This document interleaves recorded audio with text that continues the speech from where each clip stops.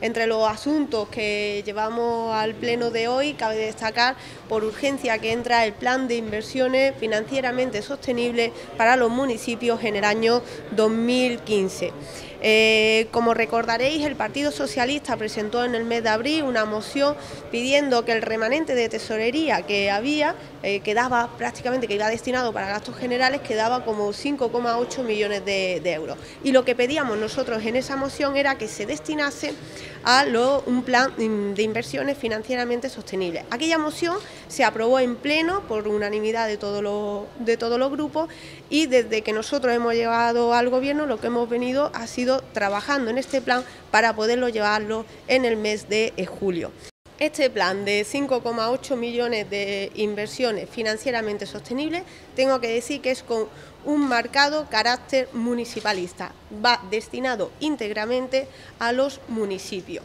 Y bien, ¿qué obras se pueden realizar con este tipo de, plan? Pues obras bueno, obras o inversiones desde saneamiento, abastecimiento, alumbrado, vías públicas, recogida, tratamiento y gestión de residuos o rehabilitación de aquellos inmuebles que son propiedad de las entidades locales. El procedimiento que se va a seguir es la aprobación hoy en pleno, su publicación y los ayuntamientos, las entidades locales van a tener de plazo hasta el 24 de agosto para poder eh, mandar todo lo que son las memorias, los proyectos y ese orden de prioridades, de necesidades que tienen en su municipio.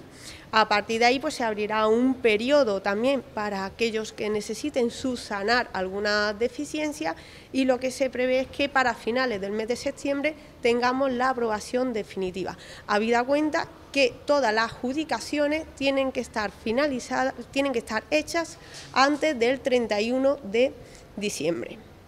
El método de contratación, pues se ha incluido los tres sistemas. Esto es algo también que el Partido Socialista siempre pues, había incidido. Entonces, se permite que bien se hagan esas inversiones por mm, el sistema de administración, siempre y cuando los, ayuntamientos tengan esos medios para poder realizarla, o la contratación que se haga bien por diputación o bien por, por los ayuntamientos. Hay que reconocer que hay ayuntamientos en la provincia que tienen muchas empresas en su en su municipio y el que adjudique el ayuntamiento pues estará generando empleo, estará generando riqueza.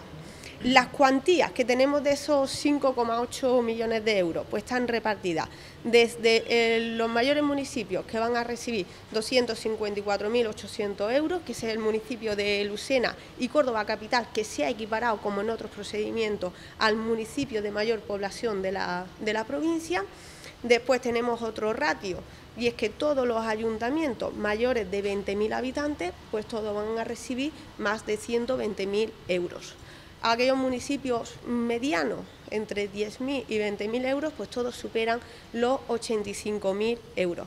Y el municipio que menos va a cobrar, pues está en torno a los 47.000 euros. Y las ELA, pues están en torno a los 28, 30 mil euros. Se ha equiparado poniendo unos criterios fijos, se ha tenido en cuenta también el desempleo en los municipios, que cuenta con un 20%, y se ha hecho de forma proporcional. Ese es el plan de inversiones que llevamos hoy por la necesidad que hay en los municipios para generar ese empleo, esa riqueza como motor.